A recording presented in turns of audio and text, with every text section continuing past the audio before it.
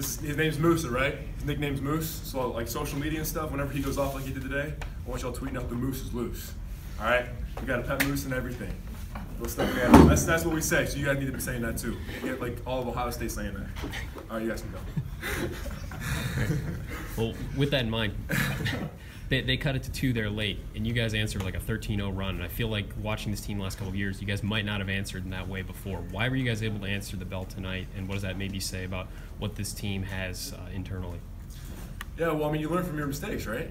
I mean, over the past couple of years, we've we we very well have lost that game. Um, but you know, with coaches just saying, you know, this is exactly what we want in the huddle.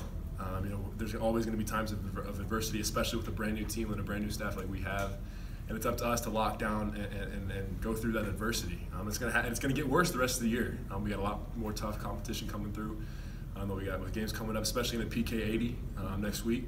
And uh, it was just a small little test for us, and we, and we passed it. And when you talk about adversity, not just on the court, but when, when Kaleb doesn't play, and obviously that's going to put a little bit more on your shoulders. How did that impact you tonight? Well, my teammates helped me out a lot, and Kaleb actually helped out a lot too. I mean, even though he was out of the game, um, he was the loudest one on the bench. Him and Joey. Um, I mean, and that's and that's something that we got to be able to continue to do. Um, you know, it's, it's next man up. If guys can't play, they got to be able to fulfill their role of, of, of, being loud on the bench. And Kaleb did a great job with that today.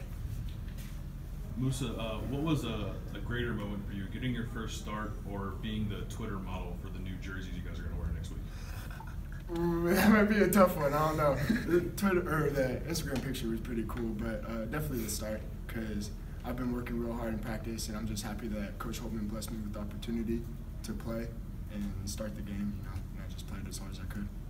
When did you find out you were starting, and then like, did you approach it any differently once you didn't know you were going to start? Uh, I didn't find out till kind of like shoot around before one of the assistant coaches told me like you might be starting, and then probably at like five, one of the coaches was like, "Yeah, you definitely started." And so I didn't want to try to think about it too much. You know, just warm up like I used to, and, and just get going. And you had, um, I know you had obviously had a scoring going in the first half, and then you didn't score for a while, but you had two swats at the rim on some of those oops. They were trying to really seem to ignite you guys uh, defensively. I, I, guess what I'm asking is the importance of, of, when you're not scoring, finding ways that impact the game in, in, other ways. You seem to do that tonight, and is that something you think you can bring for this team moving forward? Yeah, that's that's exactly what I'm going to do. That's going to be my mo. You know, I'm not out here to get 30 a night, and uh, I mean that'd be great if it happened, but I'm just out there to play defense and just bring the energy for the team.